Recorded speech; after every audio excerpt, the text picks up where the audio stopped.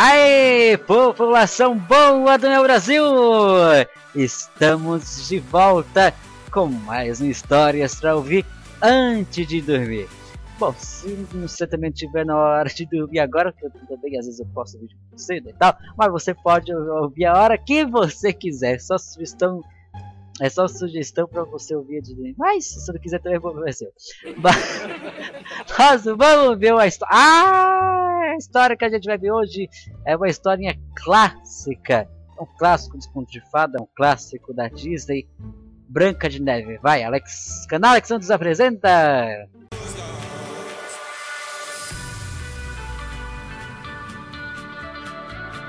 Era uma vez, há muito, tempo, bem no meio do inverno, quando os focos de neve caíam do céu leves como plumas.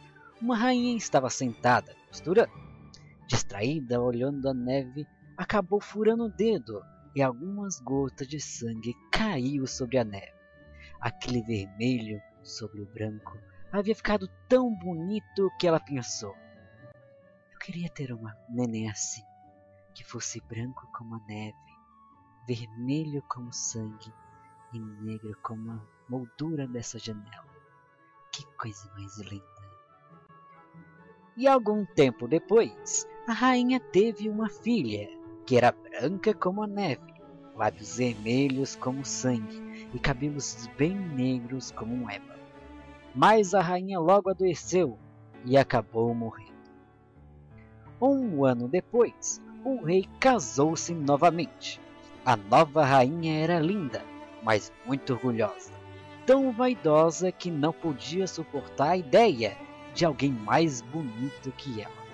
Ela tinha um espelho, mas não era qualquer espelho. Era um espelho mágico, que sempre dizia a verdade. A rainha adorava perguntar ao espelho: Espelho, espelho meu, existe alguém mais bonita do que eu? O espelho respondia: Não, você é a mais bela. Enquanto isso, o tempo passou.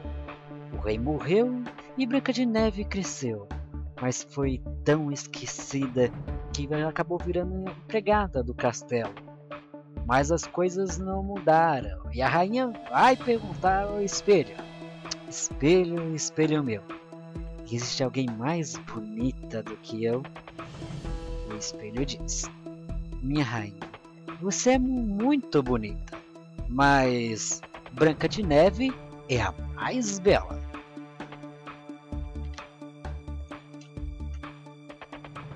rainha, enciumada e com raiva, chamou o caçador e ordenou que levasse Branca de Neve para a floresta catar flores. E assim ele a matasse. Com prova do serviço, levasse o coração dela numa caixa até a rainha.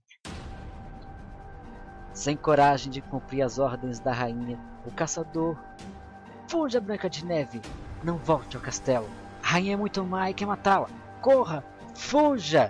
Branca de Neve, assustada, correu, correu e se perdeu na floresta.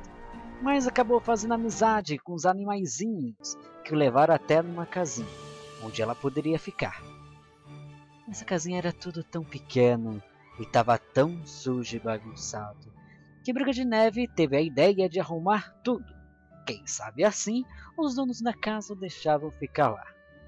Depois de tão cansada ela caiu sobre as pequenas camas e dormiu. Enquanto isso, numa mina de tesouros ali perto, sete anões tinham acabado seu expediente de trabalho e voltaram para casa.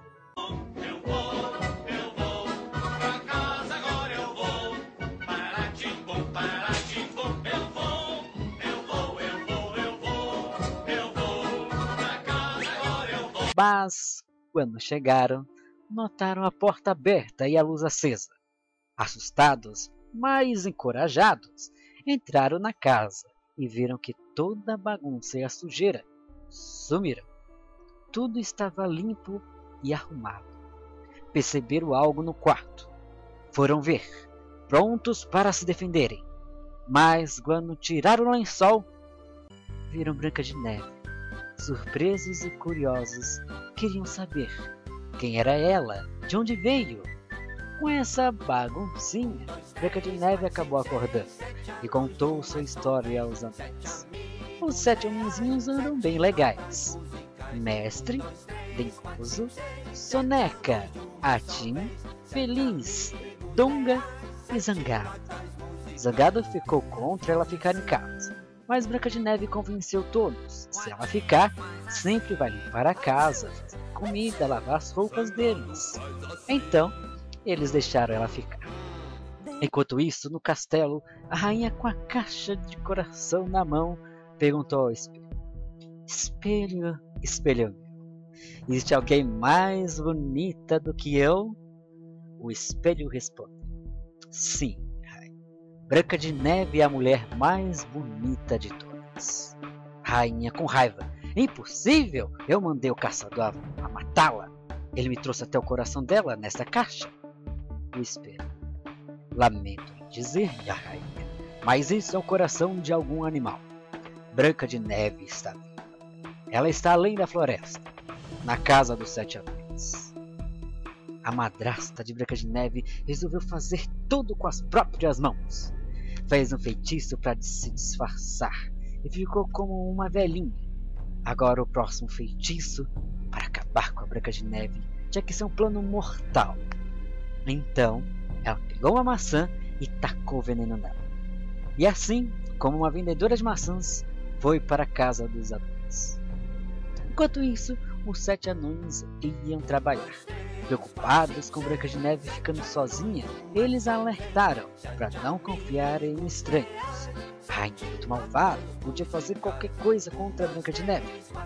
E assim, eles foram trabalhar. Branca de Neve resolve fazer torta para agradar os anões. E a rainha, a madrasta, a bruxa, chega diante da janela das casas dos anões Pergunta se Branca de Neve está sozinha. Ela diz que está. A bruxa então diz que é uma senhora vendedora de maçãs. Os animais perceberam o perigo e atacam a bruxa. Branca de Neve, com pena da senhora, a protege. A bruxa finge que está passando mal e Branca de Neve a convida para entrar um pouquinho até ela descansar, melhorar. Os animais percebem o perigo e vão buscar ajuda.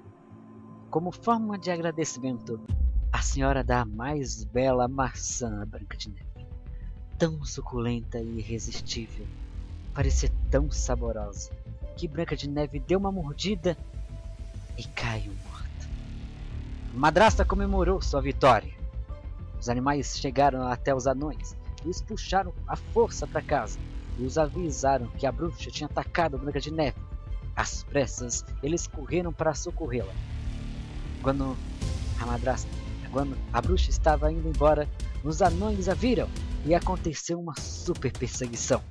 Mas a bruxa ficou sem ter para onde ir. Mas ela ainda tinha uma carta na mão. Jogar uma grande pedra para esmagar os anões.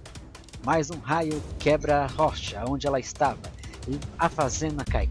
E a grande pedra caiu em cima dela, era o fim da Rainha Má. Quando os anões chegaram em casa, viram Branca de Neve morta. Eles ficaram muito tristes por ser tão bela. Eles a colocaram num caixão de vidro, no meio da floresta.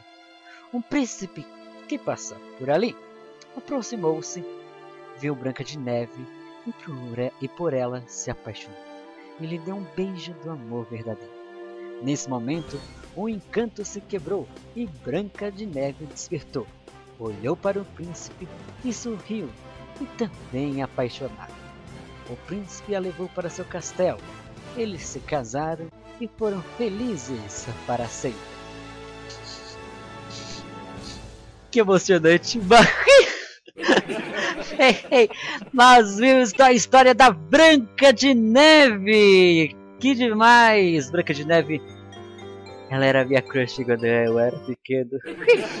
Quem é minha crush atual? Ah, sim, a Megan Fox. Quem é mais bonita? Megan Fox ou a Branca de Neve? Ah, a Megan Fox. A Megan Fox, claro. Bem, a Branca de Neve, aliás, nós mostramos imagens Hoje nós mostramos imagens da Branca de Neve é do filme da Disney. Que legal! E nós temos uma curiosidade. Esse filme da Branca de Neve, ele é de 1937. Olha a, a qualidade da imagem. Ótima. Para a época, 1937. Horrível, lindo, maravilhoso. E além dele ser de 1937, ele foi o primeiro filme longa-metragem de animação da Disney. Boas curiosidades, se você confere curiosidade aqui. Minhas curiosidades, eu vou fazer curiosidades mês que vem. Tô com saudade de fazer curiosidades. Bem, e se você quer ver mais historinhas dos cultos de fada, das fábulas, se inscreva no canal, deixe um gosto, compartilhe a historinha da Branca de Neve com seus amigos, porque no mês que vem nós teremos mais histórias para ouvir antes de dormir, que será a historinha... Ah, Soldadinho de Chumbos! Soldadinho de Chumbo, você não pode perder a história do Soldadinho de Chumbo, então, mês que vem, aqui no canal Alex Santos. Até lá, pessoal. Até a próxima história. E até o próximo vídeo semana que vem. Tchau!